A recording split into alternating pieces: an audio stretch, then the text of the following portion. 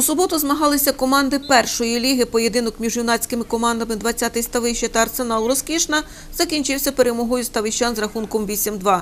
У другій зустрічі помірялися силами головний претендент на перемогу у чемпіонаті команда Серпанок Бесідка та Прогрес Іванівка. З великим рахунком 10-1 перемогла команда Серпанок. У переможців 5 голів забив Олег Данилишин. Три голи на рахунку Олега Русакова.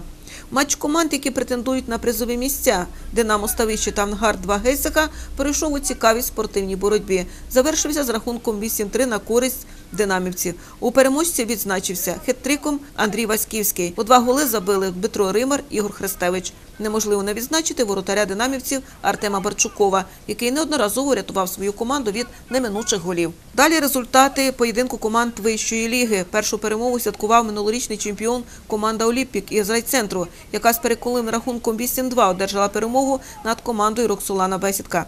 Хет-триком відзначився Олексій Виговський, дублем Богдан Стадник, Владислав Волошин. Один гол на рахунку Назара Павлюка. Зустріч команд Галактика Антонівка та Сузір'я Попружна тримала вболівальників протягом всієї гри у напрузі, про що свідчить хід поєдинку. Перша половина гри закінчилася з рахунком 0-2 на користь футболістів Сузір'я. Дублем відзначився Дмитро Паравонтов.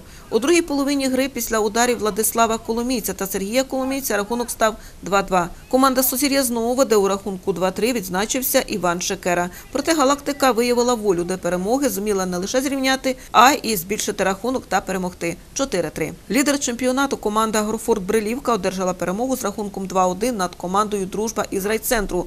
У переможців забили голи Владислав Литвинець, Олександр Мейта. У переможених Богдан Цимбал. Поєдинок між місцевою командою Легіон та фаворит Журавлиха закінчився з переконливим рахунком 2-6.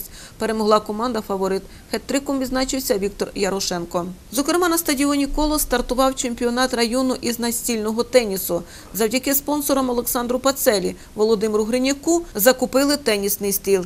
Початок о 10-й годині по вихідних днях. І 5 лютого на стадіоні Колос відбудеться цікава зустріч на першість району з мініфутболу між командами Агрофорт Брилівка та Санос Гостра Могила. Інформацію надав суддя національної категорії з футболу Микола Сторчак.